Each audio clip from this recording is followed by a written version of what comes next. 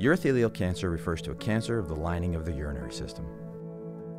While the majority of urothelial cancers, approximately 90 to 95%, arise in the bladder, upper tract urothelial cancer, or UTUC, is a subset of urothelial cancer found in the lining of the kidney, called the renal pelvis, or the ureter, the long, thin tube that connects the kidney to the bladder. As the lining of the bladder, kidney, and ureter are the same, there are many similarities and some differences between upper tract urothelial cancer and bladder cancer. For instance, both bladder cancers and upper tract urothelial cancer can present with hematuria or blood in the urine. However, upper tract urothelial cancer can block the ureter or kidney causing swelling, also known as hydronephrosis, infections, and even affect kidney function in some patients. Similar to bladder cancers, upper tract urothelial cancer can develop as low or high grade tumors.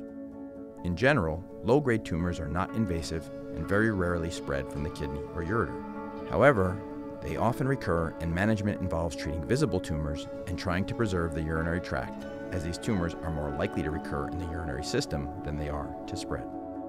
High grade tumors have an aggressive appearance under a microscope and are assumed invasive in the kidney or ureter. In the bladder, a thick muscle called the detrusor acts as a barrier to define invasive cancers, but in the kidney and ureter, this muscle does not exist. High grade upper tract urothelial cancer has the potential to spread from the kidney or ureter and is most often treated with surgical removal of the kidney and ureter, an operation called radical nephroureterectomy.